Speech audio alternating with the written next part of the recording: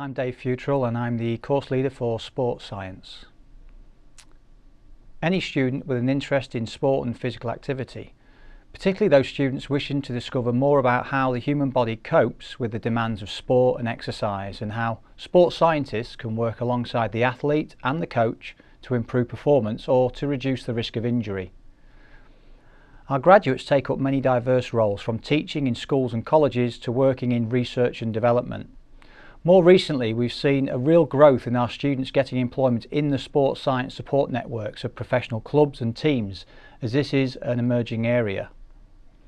We also offer a taught Masters in Sport and Exercise Science in order to really fine-tune the practitioner skills that employers looking for experienced sports scientists really want to see evidence of. We've developed a large number of work experience opportunities in the past few years.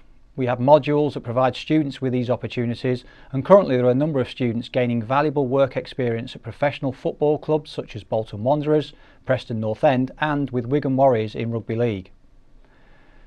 We have strong links with a number of universities in Europe, particularly in Spain and Portugal, and these are providing our students with the opportunity of short study visits in the summer, or if they wish, they can study abroad for one year as part of their course. In addition, we have many students who are successful in applying to study for a year in America as part of the ISEP programme.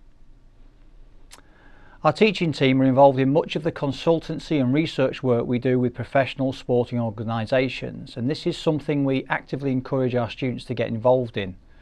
Through volunteering to support the staff when carrying out this work, the students get invaluable experience of working alongside professional sports people right the way through their degree. Really this course is very much about hands-on learning. We believe that sports scientists need to learn by doing so we emphasise the need to develop skills and competencies in our laboratories so that our graduates can become the sports scientists of the future.